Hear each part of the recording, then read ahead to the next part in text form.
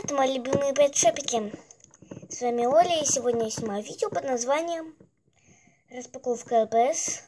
Третья часть. Начнем.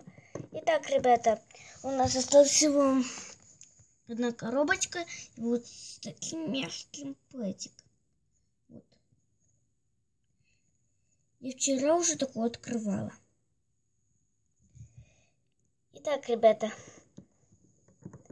заранее пишите. Если вы видели вот эту вот коллекцию в Альберсе, пожалуйста, пишите мне заранее, кто попадется. Если твой вариант правильный, то я тебе нажму сердечко под комментарием. Даже если неправильный, то все равно тебе нажму. Итак, давайте начнем открывать скотч. Итак, мы сняли скотч и придется еще скотч отрывать. Вот скотч. Да скотч тут очень много. Вот, чай.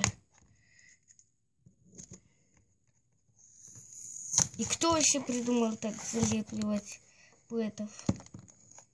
Ну, может, чтобы никто не вскрыл его.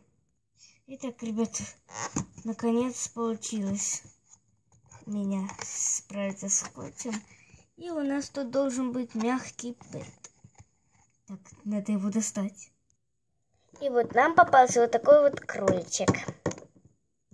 Ну, очень похож на кролика. Так, ребята, давайте угадывать, кто это. Вроде похож на кролика. А, по-моему, нет. У кролика нету такого хвоста. Тогда кто это? Кто это? Итак, ребята, я поняла, то, что вот это вот существо, это сурок. Ты что валишься? А то валюсь. Отведи меня на место. Иначе всех вас завалю. Не надо нас завалить, мы сейчас тебя отнесем. Ну все, остановись. Еще одним мягким друзьям.